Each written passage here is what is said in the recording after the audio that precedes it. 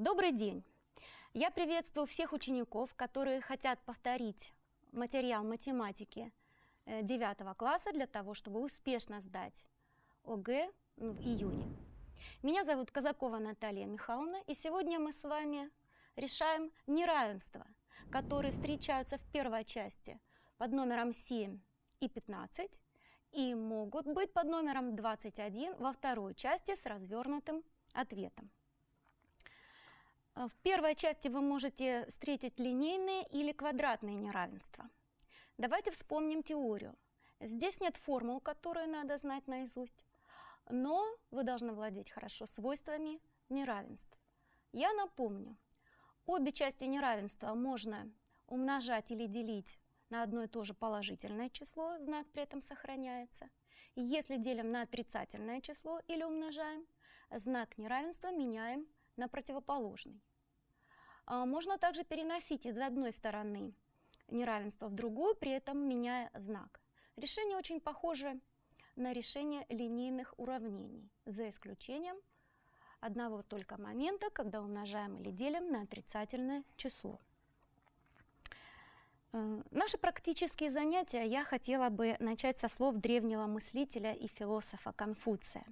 «Скажи мне, и я забуду. Покажи мне, и, может быть, я запомню. Вовлеки меня, и тогда я постигну».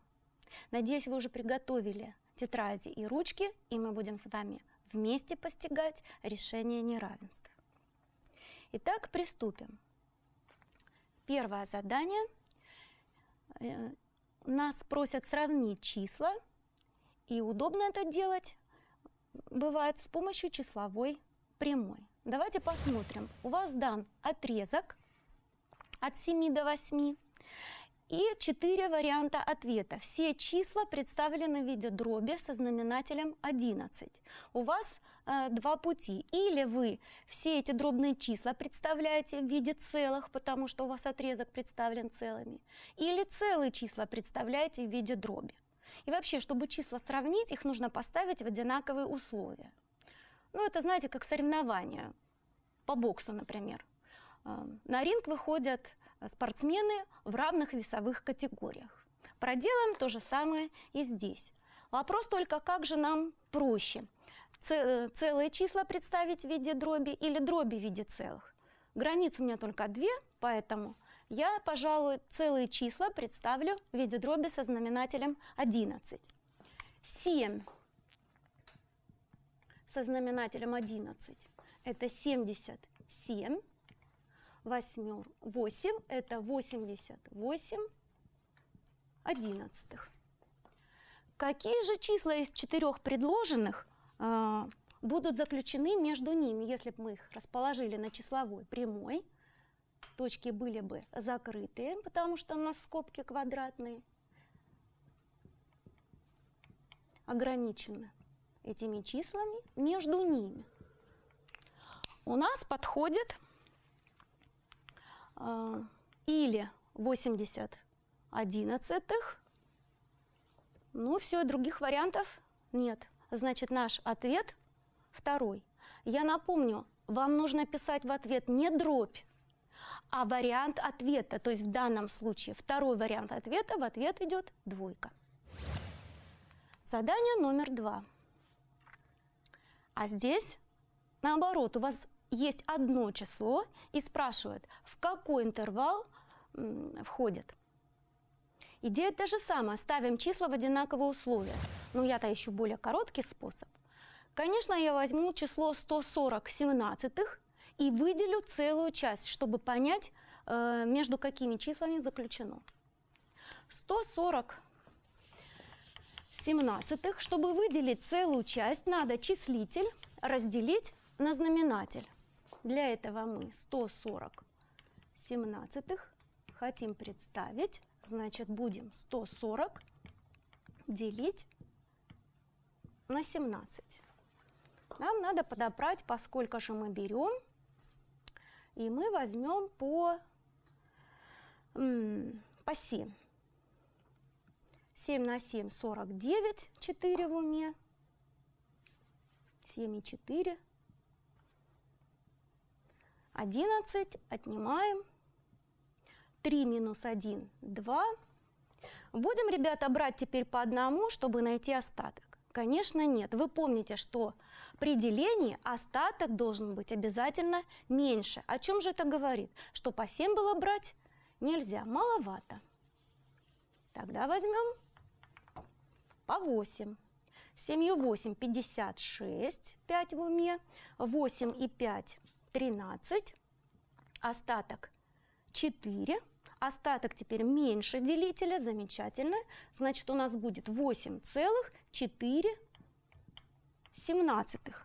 Между какими же целыми числами э, наш ответ заключен? Между 8 и 9. Значит, в ответ мы записываем 4. Следующее задание. У нас изображена точка, и нас спрашивают, какому же числу эта точка соответствует. Давайте сами теперь посчитаем, а между какими целыми числами заключено? Между четверкой и пятеркой два целых числа. Тогда у меня опять или я четверки представляю в виде дроби со знаменателем 7, или я из э, дроби выделю целую часть. Но я четверку, пожалуй, представлю в виде дроби со знаменателем 7. Четверка – это 4 – это 28 седьмых, 5 – это 35 седьмых. И я выбираю ответ 33 седьмых. А могла э, мне подойти еще какая-нибудь э, дробь из предложенных? Если вы спросите, например, 29 седьмых э, заключена между ними? Да, мог бы ответ этот подойти. Но давайте посмотрим. Эта точка изображена ближе к числу 5, поэтому мы выбираем второй вариант ответа. Похожее задание –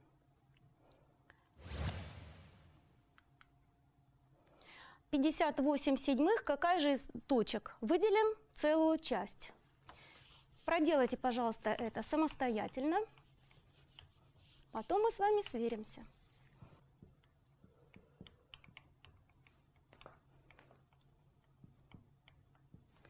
Я надеюсь, у вас получилось 8,2 седьмых. Между восьмеркой и девяткой у нас две точки С и Д, но 2 седьмых – это меньше половинки, значит, это число ближе к 8 целым. Значит, вариант ответа третий. Нам подходит точка С. В ответ идет 3. Следующее задание. У нас предлагаются в этом задании иррациональные числа, а границы 6, 7 и 8 целыми – мы снова пытаемся поставить числа в одинаковые условия. Или все запишем целыми числами, или э, рациональными. Можем ли мы 40, 46, 53 и 58 вынести из-под корня? Нет. Значит, эти числа записываем в виде э, корня. 6 это корень из 36. Ну, мы понимаем, что восьмерка нам, собственно говоря, не очень нужна. Буква э, точка А у нас заключена между шестеркой и семеркой, поэтому подпишем. Я напомню, что на экзаменах вы можете работать прям э, в тексте, здесь писать все, что вам необходимо. Нам подходят два значения. Смотрим, точка А ближе к 7, поэтому наш выбор корень из 46. В ответ Записываем второй вариант ответа. Ну и теперь решим линейные неравенства. Ход решения очень похож на решение линейных уравнений. Переносим слагаемые в одну сторону с буквенной частью и числовые значения вправо.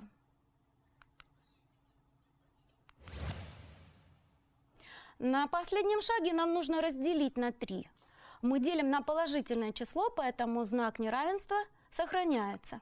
Отметим это на числовой прямой. Тройку мы берем закрытую точку, потому что неравенство у нас не строгое. x больше трех, значит штриховка пойдет у вас вправо. Выбираем э, промежуток из четырех предложенных. Посмотрите, у вас ответы могут быть записаны в виде промежутка, может быть э, геометрическая интерпретация, то есть с помощью числовой прямой, а, а может быть неравенство. В данном случае у нас интервал. Новый ответ идет, снова номер ответа, четвертый. Задание номер семь. Запишите, пожалуйста. Похожее неравенство, иксы у нас также с двух сторон, но вот варианты ответов как раз предложены на числовой прямой.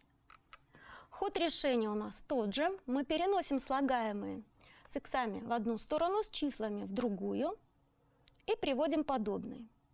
Я думаю, вы все это проделываете самостоятельно. Приводим подобные. А вот здесь будьте внимательны. Теперь нам нужно делить обе части неравенства на отрицательное число. Да, вы, конечно, выполняете, внимательно считаете, но знак неравенства меняем на противоположный. Отмечаем на числовой прямой. Точка вновь закрытая. x меньше числа, значит, выбираем левую часть прямой. Какой же у нас отрезок? О, вернее, интервал нам подходит. Второй. Записываем ответ. Следующее задание. Необходимо проделать преобразование, распределительное свойство – Раскрываем скобки. Будьте внимательны со знаками. Отрицательный коэффициент, значит меняем знаки. Сверимся, ребята, с вами. Надеюсь, у вас именно такие знаки получились. Приводим подобные и отмечаем на числовой прямой.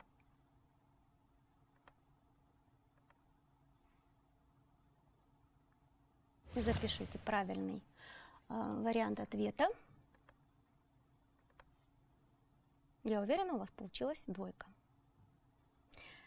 Задание номер девять. Немного усложним. Система линейных неравенств. Решаем каждое, но у нас здесь два неравенства и две числовых прямых будем отмечать.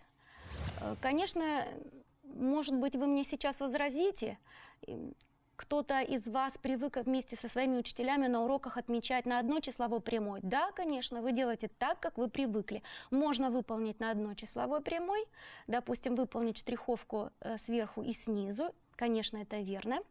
Я просто предпочитаю, чтобы ученики мои не ошибались в дальнейшем, когда будут решать квадратные неравенства. Мы об этом сейчас еще поговорим. Решили каждое неравенство – выполним геометрическую интерпретацию для каждого. x меньше 3,7 влево, больше 3 вправо. И мы выбираем такой интервал, на котором выполняются оба условия одновременно. Этот промежуток от 3 до 3,7. Точки закрыты. Смотрим, какой же нам подходит ответ. Выбираем первый. Следующее задание – квадратное неравенство. Их можно решать с помощью метода интервалов. Можно, конечно, графически, мы сегодня с вами поговорим и о том способе, и о другом. Разложим левую часть на множители с помощью формул сокращенного умножения. Неравенство одно, значит числовая прямая одна – но приравняем к нулю каждый множитель, найдем точки. Две точки, отмечаем их на одной числовой прямой. В данном случае точки будут открытыми, потому что неравенство строгое. А далее нам надо расставить знаки. Для этого выберем одну точку на левом интервале. Ну, например, это 10. Подставляем в условие 10 в квадрате 100, 100 минус 49, можно не считать, ваша задача определить знак. Знак будет положительный, поэтому на этом интервале ставим знак плюс. Из среднего интервала, ну, пожалуй, проще всего выбрать 0. 0 в квадрате минус 49 явно будет отрицательное, значит на всем интервале будет минус. И можно проверить и, э, допустим, минус 8 мы выбираем интервал со знаком минус, потому что у нас в условии меньше нуля. Вот этот. Я иногда в тетради учеников могу увидеть запись, о которой, от которой мне хотелось бы вас предостеречь. Давайте разберем э, этот случай на доске, как иногда ученики записывают.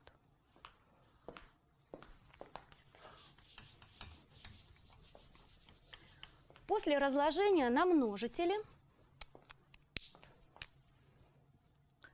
а, вот они записали произведение, и вот такая запись.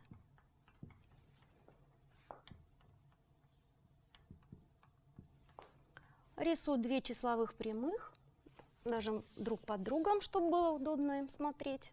Минус 7, а в первом случае семерка – штриховка пошла влево, минус 7 влево.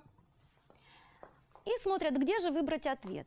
И выбирают интервал от минус бесконечности до минус э, 7.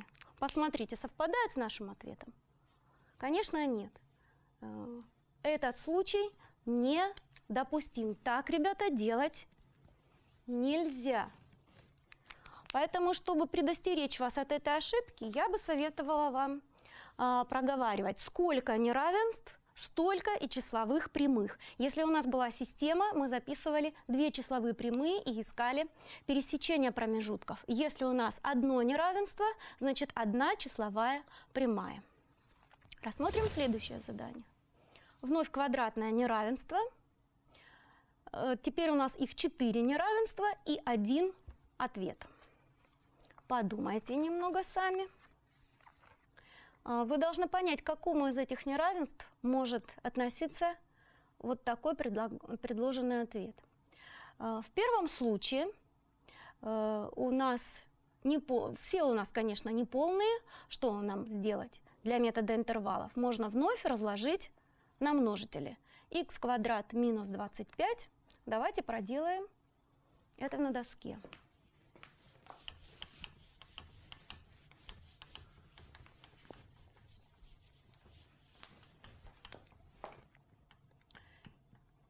x минус 5, x плюс 5.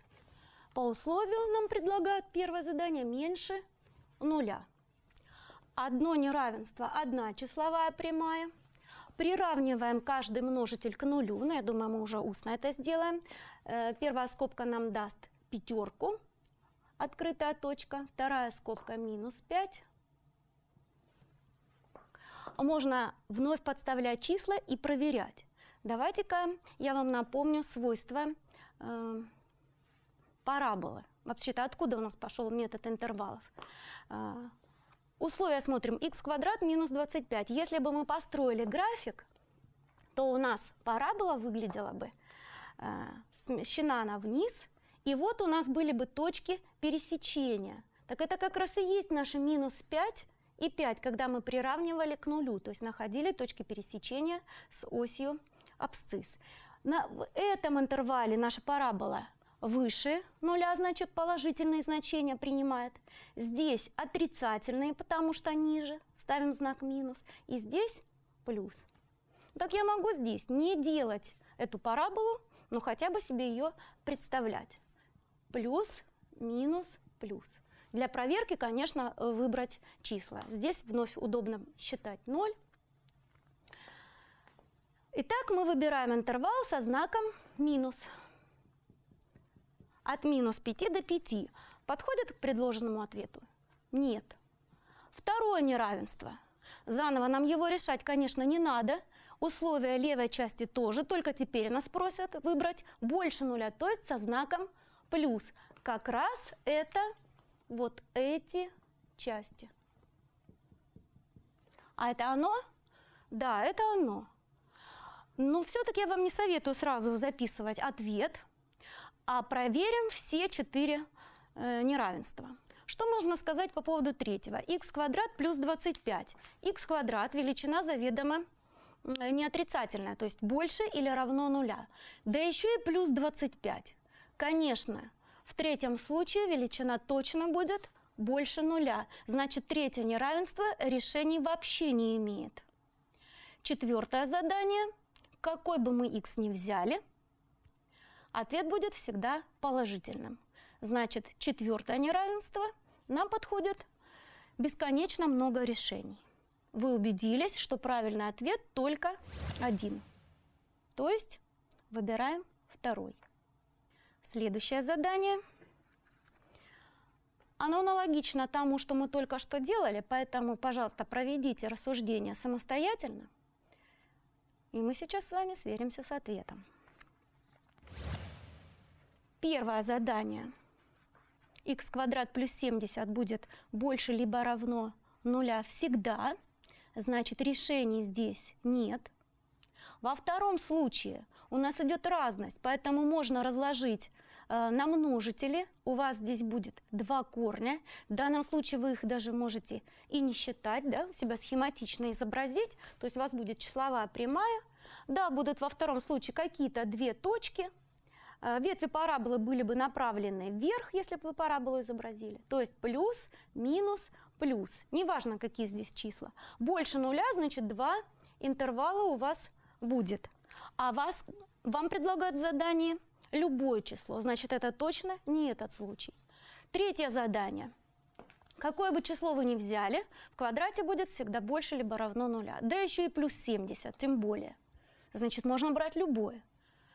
Значит, вы думаете, наверное, это третий ответ. Все-таки не будем доверяться случаю, доделаем до конца. Четвертое задание. А это похоже на второе. Только мы выбираем интервал со знаком минус. В итоге правильный ответ третий. Следующее задание. Не имеет решений, спрашивают нас. Но теперь левая часть у вас представлена полным трехчленом. Но алгоритм тот же самый.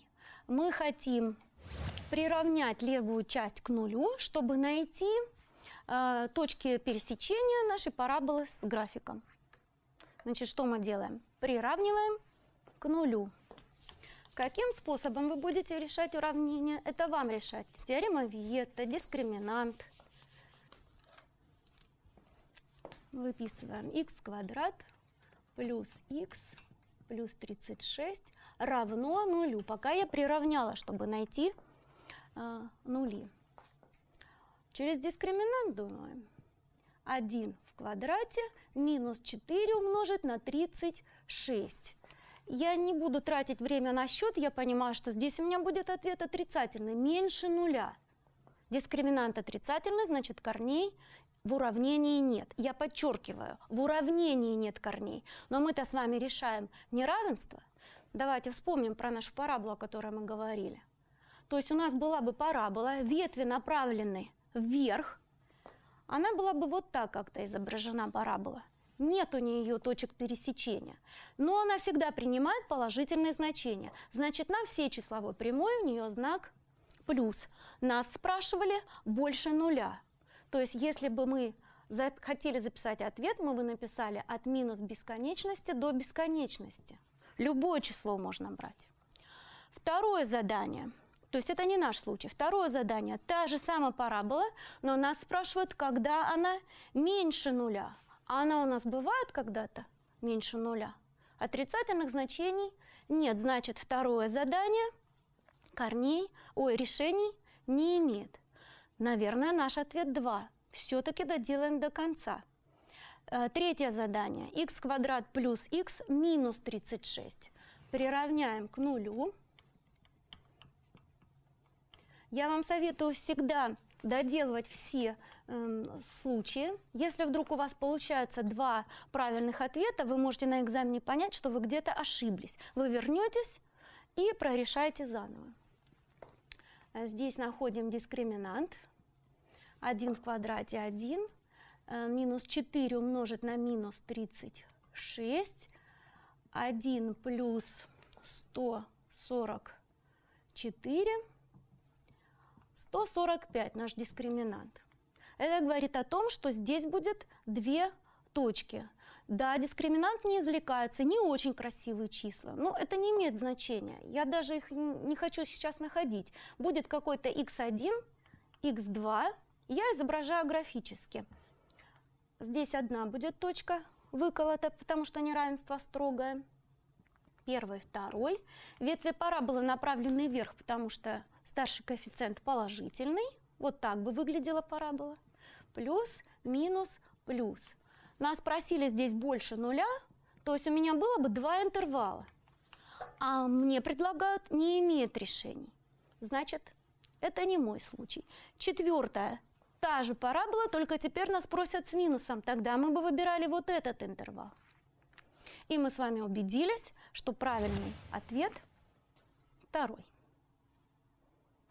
Следующее задание. И вот мы с вами подошли ко второй части. Я напомню, что здесь от вас требуется развернутое решение. Если вы выполнили все шаги э, правильно, дали пояснение, получили правильный ответ, вы можете заработать 2 балла. Я напомню, решение надо довести обязательно до конца. Итак, это квадратное неравенство. Решать бы нам его надо методом интервалов, то есть перенести в одну сторону слагаемые. И дальше мы хотели бы разложить на множители. Мы замечаем, что здесь скобка одинаковая. Очень бы хотелось на нее сократить. Можем ли мы это сделать? Ни в коем случае. Во-первых, если мы неравенство делим на положительное число, то знак сохраняется, а если на отрицательное, то меняется. Мы такой информацией не владеем.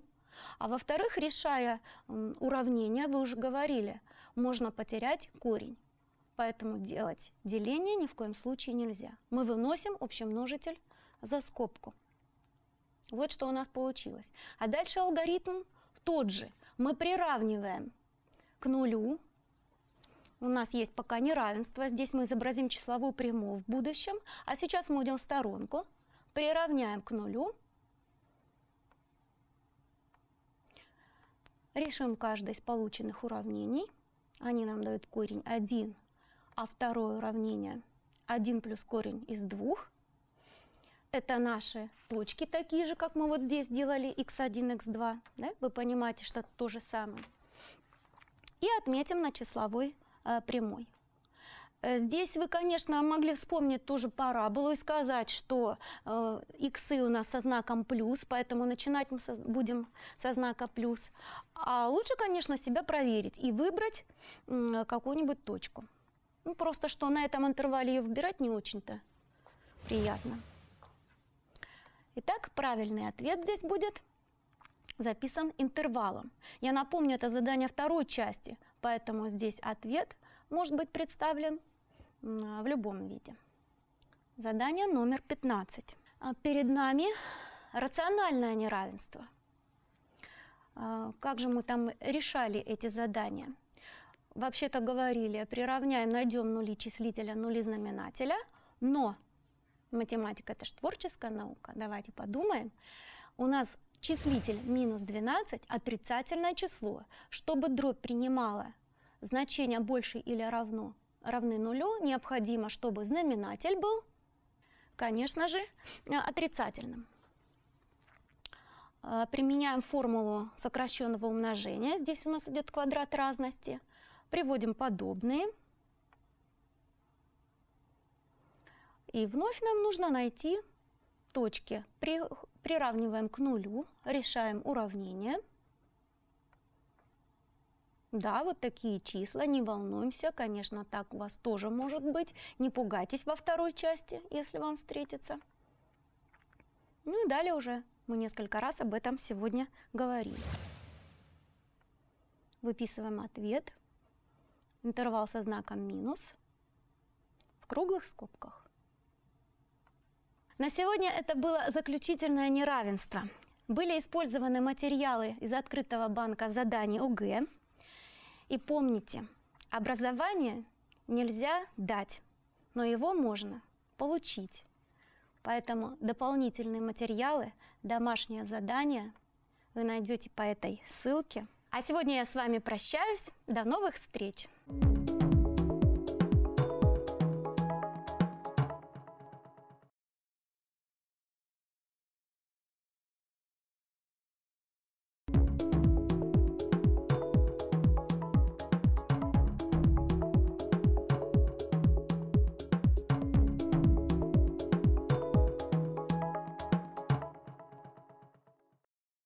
Здравствуйте, ребята! Разрешите представиться. Меня зовут Балагурова Шимота Наталья Юрьевна. На прошлом занятии мы с вами решали логарифмические уравнения и повторили логарифмы. Сегодня мы продолжим тему по логарифмам, а именно будем решать логарифмические неравенства. Но для начала давайте вспомним, что такое логарифм.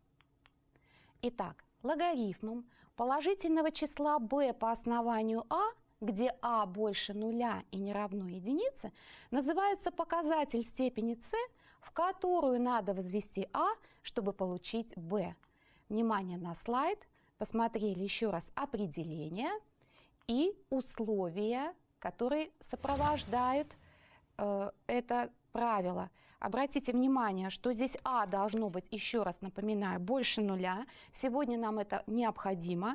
А больше нуля, А не равно единице и Б больше нуля. Делаю акцент на Б больше нуля. Мы сегодня будем решать логарифмические неравенства. Но при решении логарифмических неравенств, ребята, нам нужно хорошо знать некоторые свойства логарифмической функции. Что за свойства? Итак, функция y равная логарифм x по основанию а.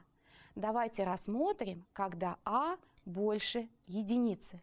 И не забываем при этом, как мы говорили на прошлом занятии, что x у нас должен быть положительным числом. x принадлежит от нуля до плюс бесконечности. Давайте вспомним, как выглядит график и что с ним происходит. Итак, это некая кривая, которая расположена в первой и в четвертой координатных четвертях. Ведь x у нас здесь больше нуля. Вот она. Вот это график y равно логарифм x по основанию а. Обратите внимание, при а больше единицы функция монотонно возрастает на всей области определения. Здесь представлены также прямые y равное b, который параллельно оси x. Ну, b может быть больше нуля, b может быть равно нулю и b меньше нуля. Обратите внимание, каково взаимное расположение прямой и графика логарифмической функции. Они пересекаются и пересекаются ровно в одной точке x нулевое. Давайте с вами посмотрим. Только что я произнесла такую фразу, а именно свойство, что функция монотонно возрастает – как это можно определить и что происходит, каково а, соответствие значений x и значений y. Итак, внимание на доску. Я схематично изображу сейчас этот график. Итак, обязательно логарифм x по основанию а, если мы подставим вместо x единичку, пройдет у нас с вами через единичку будет равно нулю. Итак, ну, схематично график выглядит таким образом. Не забываем подписывать оси. Итак, чем больше x, ну возьмем x1 и x2, x2 больше x1, давайте посмотрим, что будет происходить с соответствующим значением функции. При x1 y1, а при x2 y2 то y2 соответствующее значение тоже будет больше y1. Вот, это, э, вот эти два неравенства, они символизируют э, свойство возрастания, монотонного возрастания функции. Теперь посмотрим, что будет происходить, если основание у нас будет не больше единицы, а основание у нас будет находиться от, в промежутке от 0 до 1.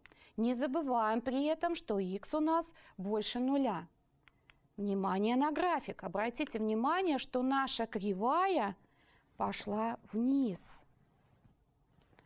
Функция будет монотонно убывать на всей области определения. Также будет пересекаться с прямой в одной единственной точке. Давайте посмотрим, как себя ведет этот график и что будет происходить с нашими значениями x2, x1, y2, y1. Итак, изображаем подписываем, проводим. Э, схематично, выбираем некие значения x1, x2, видим, что при увеличении, где x2 больше x1, но что происходит с соответствующими значениями y? А вот соответствующее значение y, обратили внимание, y1 и y2 вот соответствующее значение y у нас отличаются. В данном случае y2 будет меньше y1. Это характерное как раз свойство э, монотонно убывающей функции, когда у нас чем больше x, наоборот, y уменьшается. Итак, вот эти два момента нам помогут сегодня э, в разборе решения логарифмических неравенств. Итак, определение. Что же такое простейшее логарифмическое неравенство? Неравенство логарифм x по основанию а больше b и логарифм x по основанию а меньше b, где, подчеркну, а больше нуля, а не равно единице, и b, вы видите, может быть любым действительным числом, называются простейшими логарифмическими неравенствами. Итак, э, я хочу, чтобы вы обратили внимание на очень такую ну, табличку, которая нам поможет разобраться, что мы будем делать, когда решать неравенство. Итак, если у нас основание будет больше единицы, то при f от x больше нуля и g от x больше нуля при области определения данного неравенства, данное неравенство будет равносильно, обратите внимание, у нас э, выражения переписываются логарифмические, и при этом знак неравенства у нас сохраняется, так как а больше единицы, и функция монотонно возрастает. А что будет происходить, когда будет а больше нуля, но меньше одного? Функция логарифмическая у нас монотонно убывает, и когда неравенство будет иметь знак больше нуля, оно будет равносильно f от x меньше g от x. Знак неравенства мы будем с вами менять. Это хорошо можно записать э, в виде системы, состоящей из. Обратите внимание, нам придется при решении логарифмических неравенств составлять систему. Итак, еще раз подытожим. А больше единицы, если, то мы выписываем первую область определения нашего первого логарифма, вторую и само потом получившееся неравенство после преобразования. И во втором случае, если а меньше единицы, помните, да, э, что логарифмическая функция в это время монотонно убывает, мы выписываем два условия области определения наших двух логарифмов. И, соответственно, когда мы будем записывать уже без логарифмов сами э, аргументы, знак неравенства будет меняться. Итак, давайте посмотрим, э, как это можно применить на практике. Зафиксировали, я надеюсь, записали. Итак, укажите решение неравенства. На слайде приведен пример, который представлен э, в базовой математике ЕГЭ. Поэтому сейчас внимание на доску. Э, мы запишем коротко решение. С чего мы начинаем? Первое. Это неравенство? Да. Какое? Логарифмическое. На логарифм у нас должен выработаться рефлекс. Мы говорили об этом на прошлом занятии. Да. Какой? x больше нуля. Выписываем. x больше нуля. Теперь смотрим, какое основание у нас? 2. 2 больше единицы? Да, 2 больше единицы. Логарифмическая функция x по основанию 2 возрастает? Возрастает. Значит, будем применять правило. Итак, знак неравенства будет у нас сохраняться. Ну а далее по определению логарифма. Что такое что такое логарифм? Это степень, в которой надо возвести основание, чтобы получилось x. То есть в данном случае у нас будет x, знак неравенства сохраняется меньше либо равно 2 в квадрате. Так как у нас будет два условия, ребята, два условия, мы объединяем и записываем в виде системы. И все время будем теперь решать системой. Итак, x больше нуля, x меньше либо равно 4, записываем и находим пересечение. Напомню, система неравенств, решение системы неравенств – это пересечение э, решений этих неравенств. Итак, ставим нолик, x больше нуля, показываем решение, пошли направо, четверочку закрашиваем, потому что у нас стоит не строгое неравенство, равно. X меньше либо равно 4 показываем штриховочку лучше снизу, чтобы у нас получилась елочка, пушистая, красивая елочка. Где у нас елочка получилась? Видим от нуля до 4. Давайте разберемся, разберемся со скобками. Открытая точка, круглая скобка, закрытая. Мы берем эту точку, ставим квадратную скобку. Итак, обратите внимание, какой у нас будет ответ. Под каким номером? Первый? А почему не первый? А какой? А, четвертый. Ну, потому что он отличается от первого тем, что нолик здесь э, включается, а мы никак не можем включить ноль. Следующее задание, которое также есть в базовой математике ЕГЭ, это логарифм x по основанию 4 больше либо равно 3. Укажите здесь решение неравенства, которое изображено в виде вот такого уже не такого промежутка. Но давайте сделаем устно. Итак, первое смотрим, на что обращаем внимание. x должен быть больше нуля. Мы видим везде x больше нуля. На всех картинках у нас x больше нуля. Видим. Теперь основание у нас чему равно? 4. Больше единицы? Да. Логарифмическая функция x по основанию 4 возрастает? Да. Знак неравенства сохраняем? Да. По определению логарифма, что такое x? Это 4 в третьей степени. Ну-ка посчитали 4 в третьей степени. 64. Х больше либо равно 64. А теперь мы разбирали на прошлом уроке с вами, когда было два неравенства. Больше большего берем. То есть больше, х больше нуля, х больше либо равно 64. Обратите внимание, какой ответ нам подходит здесь? Ну-ка поищем. Смотрим, смотрим, смотрим. Нашли? Верно. Это третий ответ. Ну и третье задание, которое также в базовой математике, это э, установить соответствие между неравенством и ответом. Итак, обратили внимание, неравенство. У нас четыре вида неравенства – я сейчас их проговорю. Логарифм x по основанию 3 меньше 3. Логарифм x по основанию 3 больше минус 3.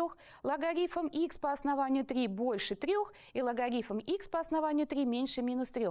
И выписаны все четыре ответа. Множество решений. Нужно поставить стрелочками – и выписать соответствие. Ну, мы хотя бы стрелочками сейчас и отметим. Ну, я вам хочу сказать, что это все-таки более-менее устное решение здесь нужно представить, поэтому давайте мы проговорим. Итак, смотрим.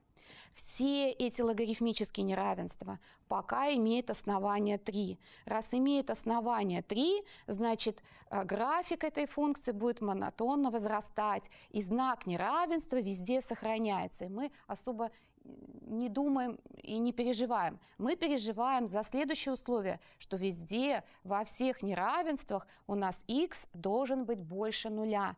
x больше нуля, и в то же время x меньше 3 в кубе, меньше 27.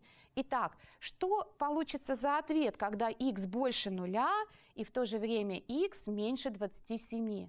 Да, это будет у нас четвертый ответ. Внимание, второе неравенство. x больше нуля, и в то же время x больше 3 в минус третьей степени. Вспоминаем. 3 в кубе это 27, а 3 в минус третьей степени взаимно обратное число. 1 27. Какое же будет это решение? x больше нуля, x больше 1,27. Верно, это второй ответ. Третье неравенство. Логарифм x по основанию 3 больше 3. x больше нуля, x больше 27. Больше большего берем. Как говорили мы с вами ранее об этом. Ответ первый. Ну и вообще путем исключения, по идее, как некоторые из вас утверждают, Г должен соответствовать третьему заданию. Давайте все-таки проверим. Итак, x больше нуля есть, x меньше 3 в минус 3 меньше 1,27. Действительно, это будет пересечение от нуля до 1,27. Итак,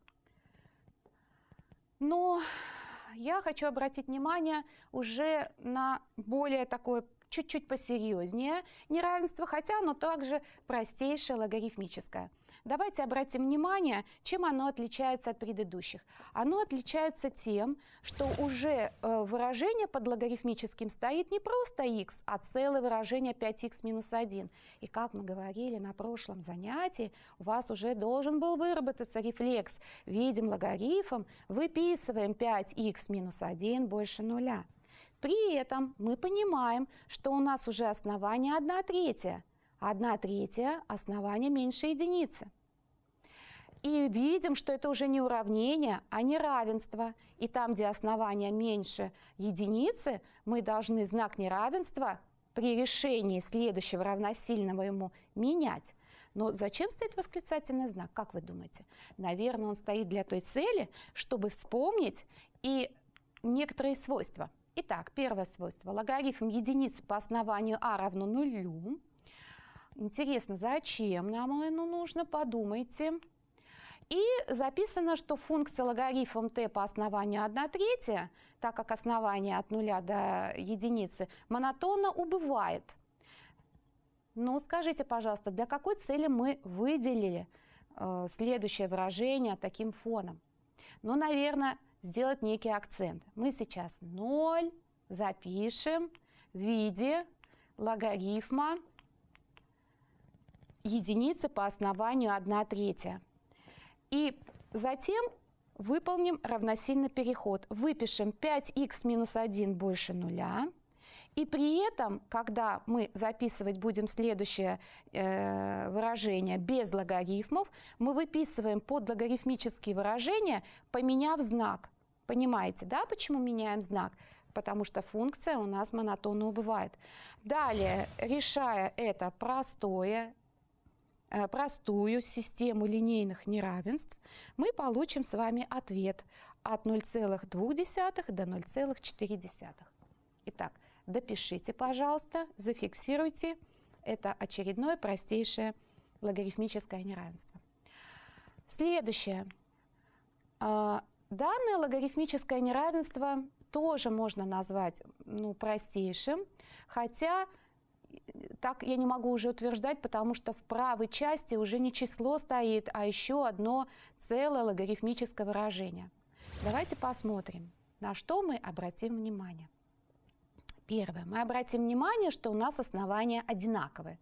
Уже хорошо. 5 и 5. Второе. У каждого логарифмического выражения есть своя область определения.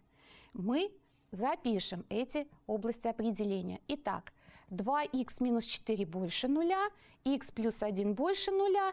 И далее мы записываем следующее выражение уже без логарифма, без логарифма 2х минус 4х плюс 1, при этом сохраняя знак. Почему мы оставили тот же самый знак? Ну-ка вспомним так как основание 5 больше единицы. Поэтому мы переписываем без изменения, без логарифмов это неравенство. Решая систему из трех линейных неравенств, мы с вами получим следующее. Перенесли 4, перенесли минус 1, и нашли x больше 2, x больше минус 1, x больше либо равно 5. Посмотрите, все три неравенства имеют один и тот же знак неравенства – больше. На прошлом занятии мы уже говорили о том, что если у нас находится знак больше, то пересечением, а точнее решением этой системы будет являться то пересечение от той точки, которая находится правее. Давайте посмотрим на эту картинку. Вот она. Итак, x больше минус 1 красным цветом выделено, x больше 2 выделено синим цветом, а x больше либо равно 5 это как раз та самая елочка, которая у нас бы получилась. Значит, решением данного неравенства у нас является промежуток. Как мы его запишем? От 5 включительно до плюс бесконечности. Молодцы. Ну и следующее неравенство отличается от того, а, которое мы решали с вами до этого. Ну, чем оно отличается? Ну-ка, сами подумайте. Молодцы. Действительно, оно отличается основанием. Здесь основание 0,5, а так как основание 0,5, вот, то э, эта функция логарифм t по основанию 0,5 монотонно убывает. И это звоночек для того, чтобы мы потом при равносильном переходе знак неравенства поменяли. Итак, обратите внимание, в системе мы выписываем 4х минус 3, знак неравенства поменяли на x плюс 3, а первое условие существования 4х минус 3 больше нуля, и второе условие x плюс 3 больше нуля. Ну, мы его сейчас так записали, чтобы на всякий случай, чтобы вы знали, что нужно выписывать все. Потому что ну, не каждый из вас может быстро разобраться, какое из этих неравенств является решением этих двух условий, э, ну, э, области определения двух условий, которые у нас есть. Поэтому я вот его здесь вам вот так записала, а дальше мы пойдем без него, потому что точка минус 3 находится левее, а точка 3 четвертых находится правее. Знак оба больше. Больше, больше выберем. Итак, продолжаем. Решением данного неравенства будет у нас промежуток от 0,75 до 2.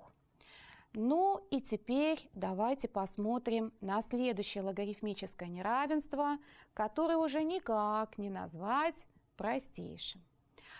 Ну, почему? Ну, во-первых, тут аж три слагаемых в левой части. В правой части у нас число, да еще мы видим, с чего мы начинаем. Ну, конечно, правильно, с того, что x больше нуля. Молодцы, это хорошо. А вот основания какие у нас? У первого логарифма основание 3, у второго логарифма корень из трех, у третьего логарифма 1 третья. Все основания разные. Так с каким основанием мы будем решать это неравенство? С каким-то одним един, единым. Это будет тройка. Итак, внимание на доску. Я сейчас запишу преобразования, которые нам помогут. А поможет нам вот эта формула – Помните, да, я сделала сегодня на нее акцент. Мы сейчас выпишем ее и преобразуем наше логарифмическое неравенство. Логарифм x по основанию 3 плюс. Я сейчас сразу второй логарифм запишу как логарифм x по основанию э, корень из трех. Вспоминаем, корень из трех. Как записать в виде основания 3? 3 в степени 1 вторая. Прекрасно. Вот тут я и запишу 3 в степени 1 вторая. Следующий логарифм. Так, мешает мне уже немножко. Потом выпишем логарифм x по основанию 1 третья. Как выпишем 1 третью в виде основания 3? Как представить в виде тройки? 3, вспоминаем про предыдущие занятия, 3 в минус 1. Хорошо. 3 в минус 1. И знак стоит меньше либо равно 6. Ну, мы уже на одном шаге к троечке. Теперь э, внимательно смотрите на слайд и внимательно смотрите на эту формулу. Что происходит со степенью? Вот эта степень, которая находится в основании. 1 вторая и минус 1. В формуле это k а в степени k. Все посмотрели внимательно на k.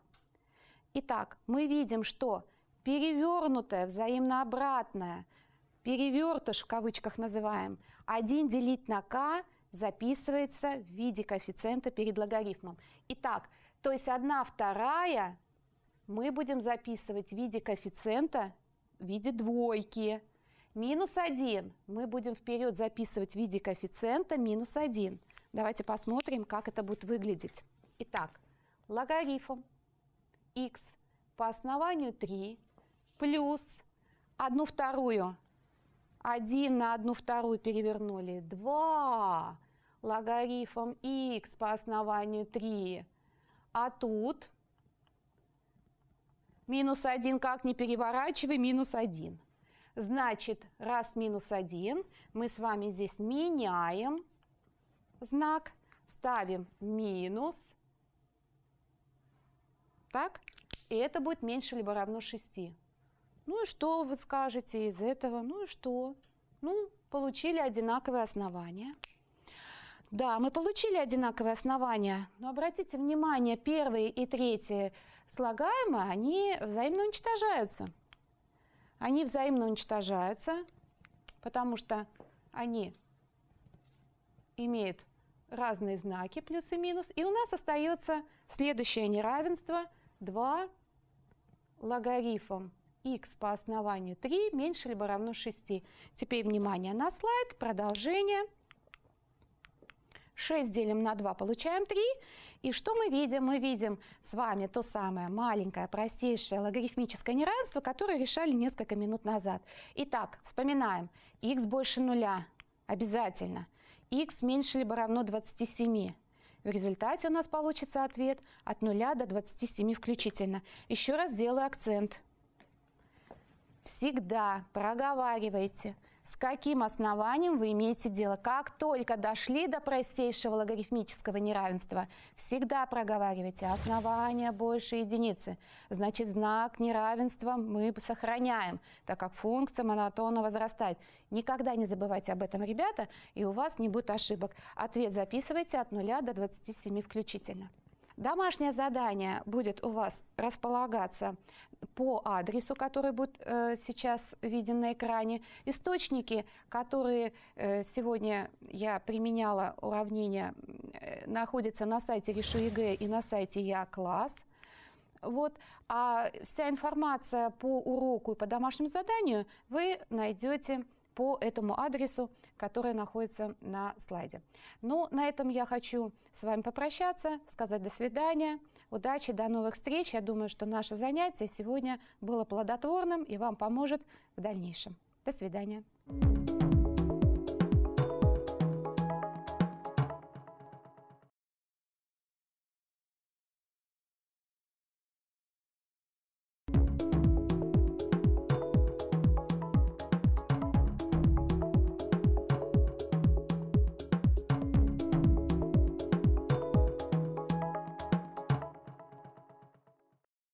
Добрый день, ребята! Мы продолжаем сегодня работать с вами на уроке математики в 11 классе в рамках телешколы. Урок математики э, для 11-классников, для выпускников этого года. Урок номер 3, тема первообразная и интеграл. Где встречается тема первообразная интеграл в экзаменационной работе? Она может встретиться у вас в задачах номер 7 профильного уровня ЕГЭ по математике. Задача номер 7 – это задача на тему производная и ее геометрический смысл. Но среди этих задач есть также задачи на тему первообразная и интеграл. И мы хотим, чтобы эти задачи не остались без вашего внимания. То есть мы хотим, чтобы вы на них обратили особое внимание – Задачи, которые будут предложены вашему вниманию сегодня, и мы рассмотрим их вместе с вами, задачи из открытого банка заданий ФИПИ. Но прежде чем говорить о первообразной и интеграле и решать с помощью этих понятий задачи, мы должны немного поговорить о теории. Какая функция называется первообразной? Функция f большое от x называется первообразной для функции f малого от x на некотором промежутке, если для всех x из этого промежутка выполнено равенство f большое штрих от x равно f от x. Посмотрите на предложенную первообразную и на предложенную функцию. Чтобы проверить, что f большое от x является первообразной для функции f малого от x, вам нужно посчитать производную данной функции. Производная 3x квадрат равна 6x, производная 4, минус 14 равна нулю. Значит, мы, вычислив производную, убеждаемся в том, что функция f большое от x будет действительно являться одной из первообразных для функции f от x. Именно одной из, потому что можно привести пример еще многих других функций f большое от x, для которых производная тоже будет равна 6x. Я вам предлагаю две функции. f большое от x равно 3x квадрат минус 1 и f большое от x равно 3x квадрат. Также можно посмотреть еще на ряд следующих функций. Почему все-таки одна из первообразных? f большой от x равно 3x квадрат минус 1 или f большой от x равно 3x квадрат. Графиком функции f большой от x равно 3x квадрат является парабола. Все остальные функции имеют своими графиками тоже параболы, но эти параболы будут сдвинуты относительно графика функции f большой от x равно 3x квадрат вдоль оси y на несколько единичных отрезков, либо вверх, либо вниз. Если мы хотим проговорить о одной единственной первообразной, то нам обязательно нужно дополнительное условие. Дополнительным условием будет являться именно та точка, координаты этой точки, через которую будет проходить график нашей первообразной. Поэтому дальше мы делаем следующий вывод и можем записать себе определение. Если f большой от x некоторое первообразное для f малого от x, то все первообразные для функции f от x находятся по формуле f большой от x плюс c, где c – любая постоянная. То есть мы говорим о том, что первообразных у одной функции очень много, и она никогда не задается однозначно. Мы говорим, что f большой от x плюс c – это есть семейство первообразных. Как найти первообразную, если известна функция? Операция нахождения первообразной функции называется интегрированием. Интегрирование – это математическое действие, обратное дифференцированию, то есть нахождению производной. Раньше у нас была функция, мы находили производную. Теперь нам дают производную, и по этой производной мы должны составить функцию. Так вот, совокупность всех этих первообразных называют неопределенным интегралом от функции и имеет специальное обозначение наш интеграл. Интеграл f от x dx.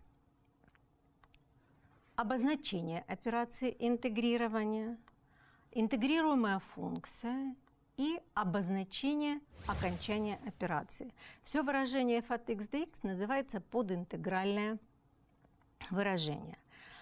Дальше, чтобы мы могли с вами решать задачи, я хочу предложить вам несколько формул э, из таблицы интегралов и свойств интегрирования. Интеграл от 0 до x – это есть постоянное.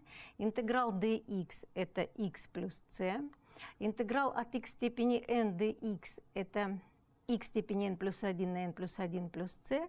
И вы замечаете, что интеграл от 1 делить на x dx – это натуральный логарифм модуля x плюс c, что э, любой неопределенный интеграл – это есть значение первообразный плюс c, что подчеркивает нам о том, что мы находим семейство первообразных. Интеграл синуса – это минус косинус x плюс c, интеграл косинуса x dx – это синус x плюс c. И несколько свойств интегрирования. Интеграл k умножить на f от x dx равно k умножить на интеграл f от x dx. То есть мы говорим о том, что постоянный множитель можно вынести за знак интеграла. Если мы имеем несколько функций, в данном случае две, f от x и gx, которые дифференцируемы на некотором промежутки на одном и том же, то интеграл суммы будет равен сумме интегралов, а интеграл разности будет равен разности интегралов.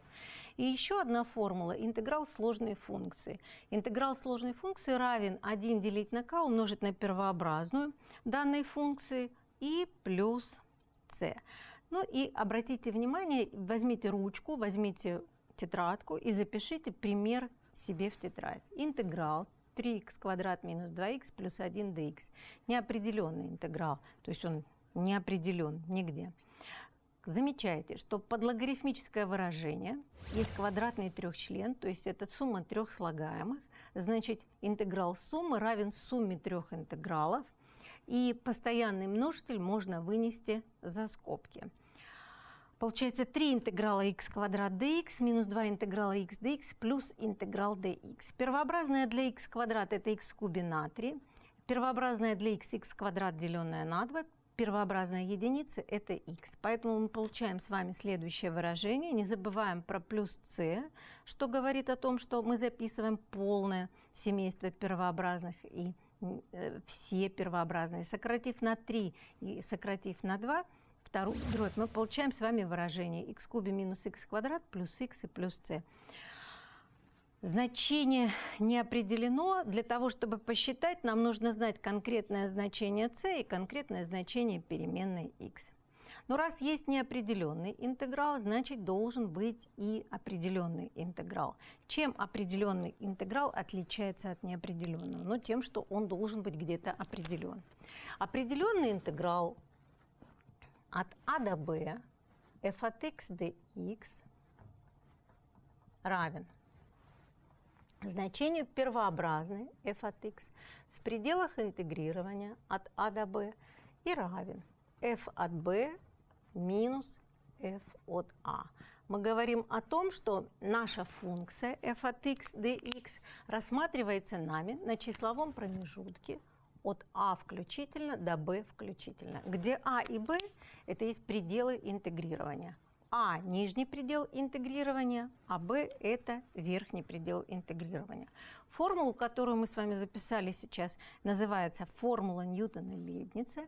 С помощью этой формулы мы можем посчитать значение любого определенного интеграла. А для нас будет интересен геометрический смысл определенного интеграла. С точки зрения геометрии мы можем с вами посчитать площадь криволинейной трапеции на заданном промежутке. Что такое криволинейная трапеция? Криволинейная трапеция – это фигура, которая ограничена графиком функции y равно f от x, прямыми x равное a и x равное b и осью x. Вашему вниманию на рисунке предлагается график функции y равно x квадрат, y равно x квадрат, две прямые x равное 3, x равное минус 3 и ось x. И давайте вместе с вами посчитаем площадь закрашенной фигуры. Интеграл от минус 3 до 3 x квадрат dx. Первообразное для x квадрат – это x в кубе на 3 в пределах интегрирования от минус 3 до 3. Подставляем значение верхнего предела 3 в третьей степени, деленное на 3, минус – минус 3 в третьей степени, деленное на 3. То есть мы применили с вами формулу Ньютона-Лейбница. 3 в третьей степени 27 разделить на 3. Минус 3 в третьей степени, обратите внимание, основание степени отрицательное, показатель степени нечетное число, значение будет отрицательным. И минус, который стоит у вас в формуле Ньютона-Лейбница, позволяет нам записать плюс 27, деленное на 3.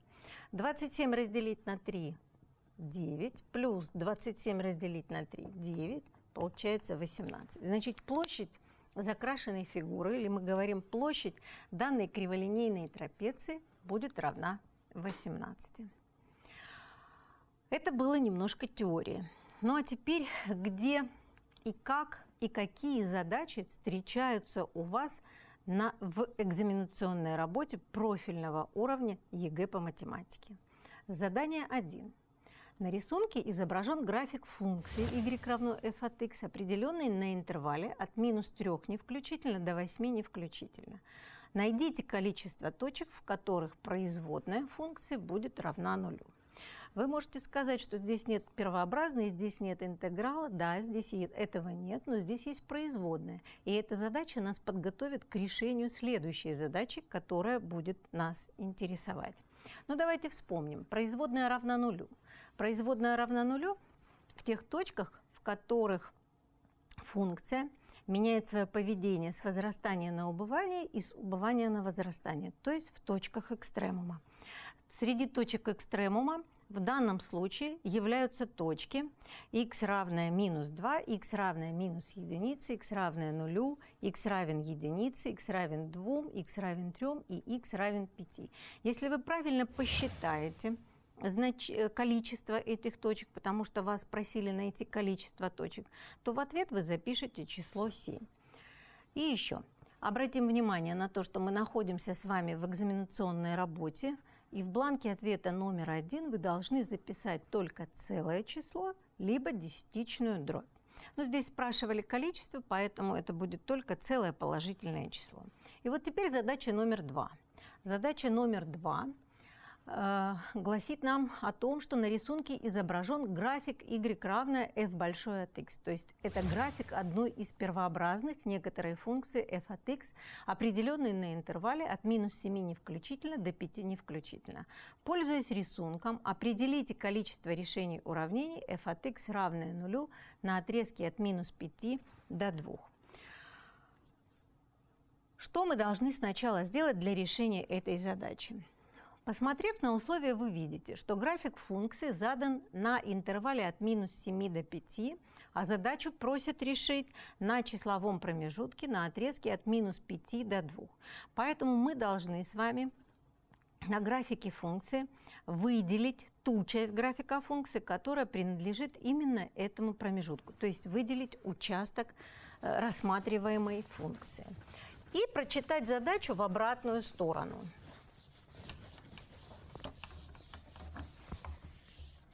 Нас просят решить с вами уравнение f от x равно нулю.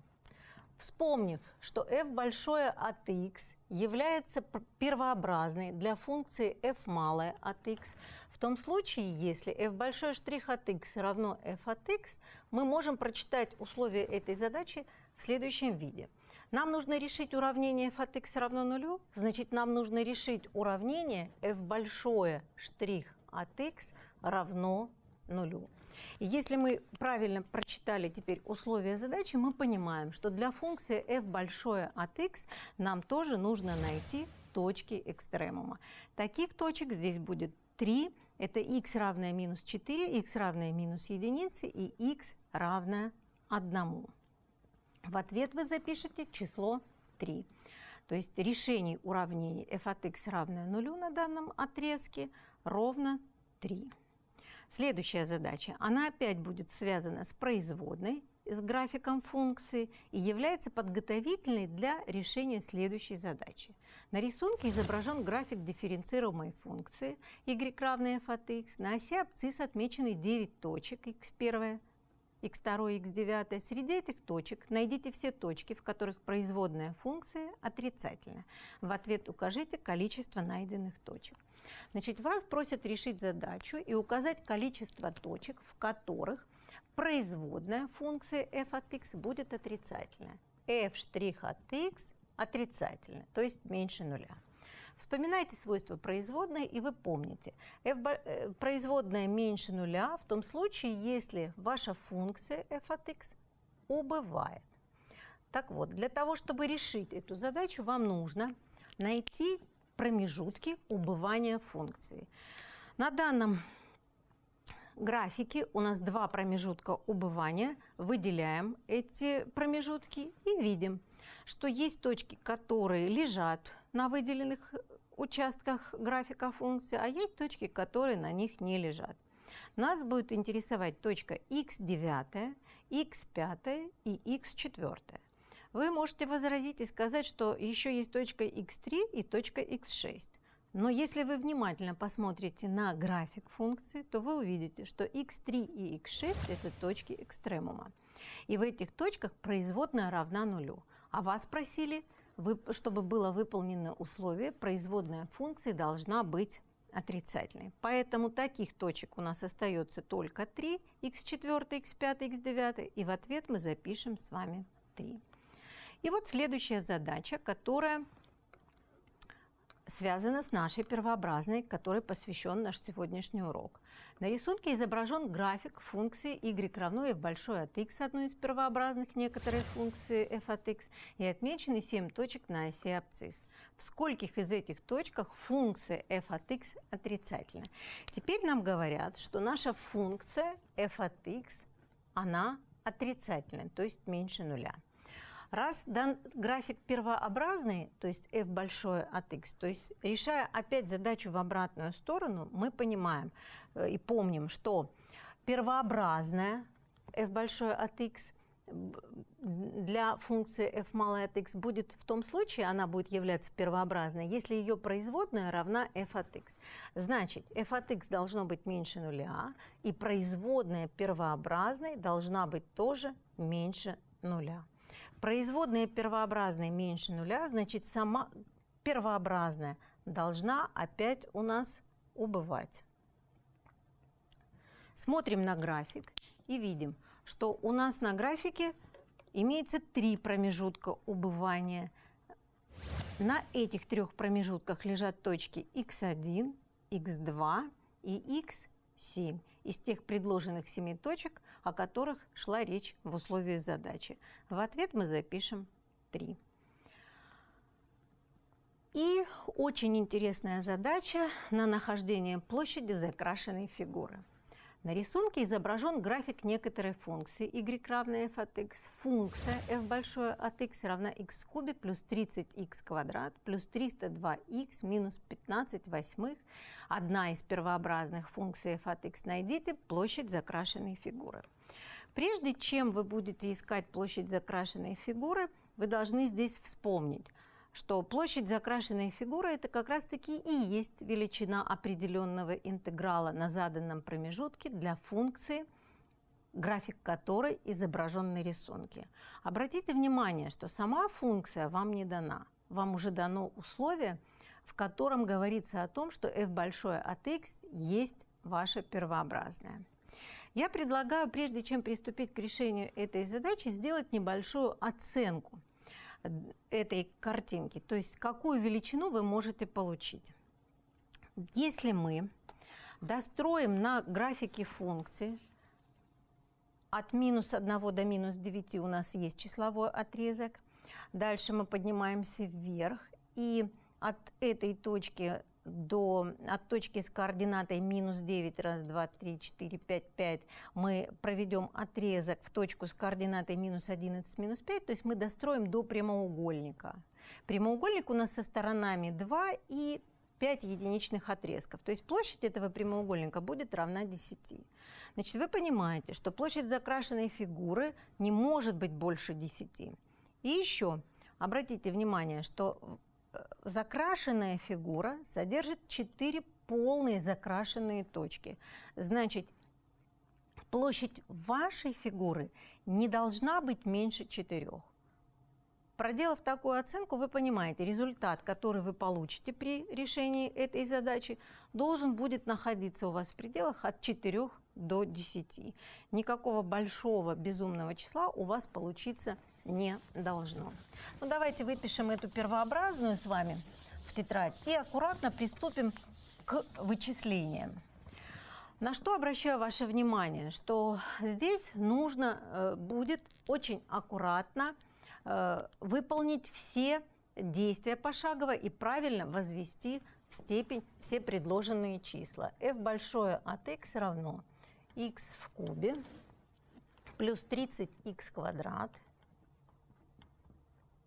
минус так, плюс 302х и минус 15 восьмых. Это наша первообразная.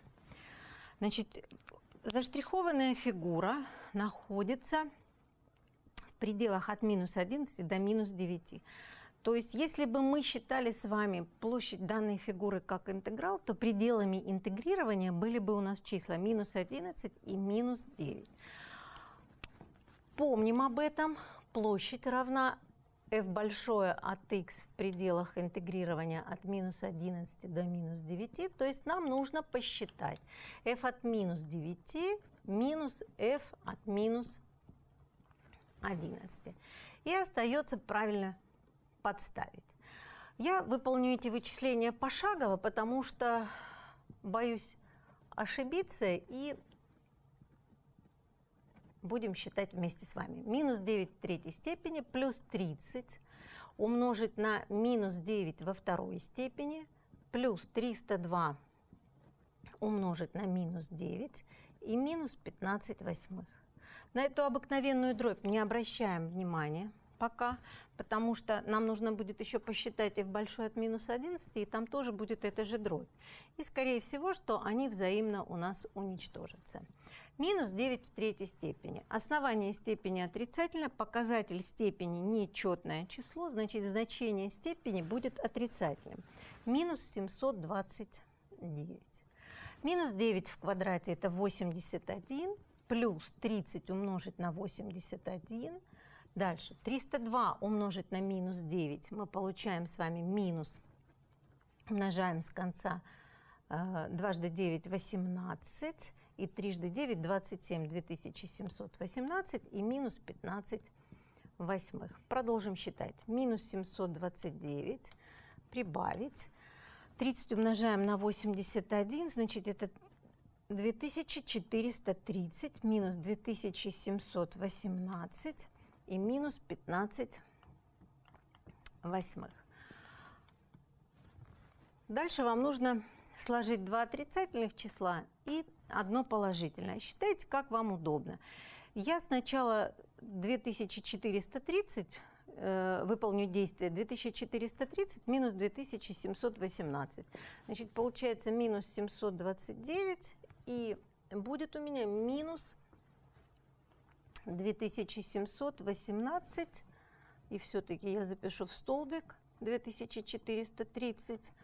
То есть 8 из 11 3 это будет тоже 8, восьмерка.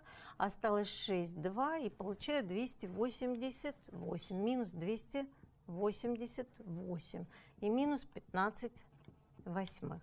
Продолжаем складывать два отрицательных числа. У нас получается минус 7, 1, 9, 1017 и минус 15 восьмых. Оставим в таком виде ответ для f от минус 9 и посчитаем f от минус 11. Вместо, значения, вместо переменной x подставляем значение минус 11. Минус 11 в третьей степени плюс 30 умножить на минус 11 в квадрате плюс 302 умножить на минус 11 и минус 15 восьмых. Опять обращаем внимание на то, что основание степени у нас отрицательное, показатель степени у нас нечетное число, и мы получаем с вами минус 1331. Мин, э, дальше следующий знак у нас плюс 30 умножить на 121, 1, минус 11 в квадрате, и минус 302 нужно умножить на 11. И тоже выполню действие в столбик. 302 умножено на 11. Получается 2, 0, 3. 1 умножу на 2, 0, 3. Сложу, и у меня получится число 3322. 3322 и минус 15 восьмых. И минус 15 восьмых. Продолжаем считать. Минус 1331 прибавить. 30 надо умножить на 121. Получается 3, 6, 3, 0. Минус 3322 и минус 15 восьмых. И опять говорю, как вам удобно, так и посчитайте. Я, наверное, сначала сложу 3630 и минус 3322. Значит, получается минус 1331. Положительное число и отрицательный результат будет положительный. И отнимаем с конца. Из 10 2 8. Занимали единицу, остается 0. Дальше из 6 отнимаем 3, получается 3. 308 и минус 15 восьмых. Дальше продолжаем считать. Из 1331 отнимем 308, сумма двух чисел с разными знаками из большего модуля. Вычитаем меньший модуль и ставим знак большего модуля. И у нас получается из 11 8 будет 3, остается двойка, 0 и 1. Минус 1023 и минус 15 восьмых. Очень хочется верить в то, что мы посчитали с вами все правильно. Вернемся к тому, что нужно было посчитать. Нужно было посчитать площадь, а площадь была равна f от минус 9 минус f от минус 11. Значит, нужно из первого значения минус 1017 минус 15 восьмых вычесть. Второе значение минус 1023 минус 15 восьмых. И обратите внимание, сейчас мы раскроем скобки, и минус 15 восьмых и 15 восьмых будут образовывать пару противоположных слагаемых, которые в сумме нам дадут 0. Минус 1017 минус 15 восьмых плюс 1023 и прибавить 15 восьмых. Сумма противоположных слагаемых равна нулю. Остается 1023 отнять 1017. Ответ 6. И мы решили с вами задачу. Посмотрите, ответ 6 – это то число, которое вы запишете в ответ. Следующая задача, которую предлагаем вашему вниманию, обратите Э, прочитайте правильные условия. На рисунке изображен график некоторой функции y равно f от x, два луча с общей начальной точкой. И, пользуясь рисунком, вычислите f от минус большое от минус единицы минус f большое от минус 8. f большое от минус единицы минус f большое от минус 8. Задается функция двумя лучами, то есть мы говорим о том, что наша функция кусочная, то есть состоит из двух различных функций. Ни одно из условий функции не задано, но мы с помощью графика легко это можем посчитать. И просят посчитать значение первообразной в минус единицы и в минус восьмерки. Вспоминая определенный интеграл и вспоминая его геометрический смысл, мы понимаем, что нас просят посчитать площадь фигуры, которая будет образована на рисунке с помощью графика функции y равная f от x в пределах интегрирования от минус 8 до минус единицы. Выделяем эту фигуру на графике функции и видим, что то, что мы заштриховали с вами, то есть закрашенная фигура, это обыкновенная трапеция. я предлагаю решить вам эту задачу с помощью формулы площади трапеции. Площадь трапеции считается по формуле полусумма оснований, умноженная на высоту. Путем элементарных вычислений количества клеток вы видите, что верхнее основание 3 клетки, нижнее основание у вас 7 клеток, высота 4 клетки. Если мы теперь подставим найденные нами значения в эту формулу, мы получаем 3 плюс 7 разделить на 2 и умножить на 4. То есть 10 разделить на 2, 5 умножить на 4 равно 20. 20 – это то число, которое вы запишете в ответ своей задачи. Вот такие открыт... интересные задачи встречаются в открытом банке ФИПИ на тему первообразная и интеграл.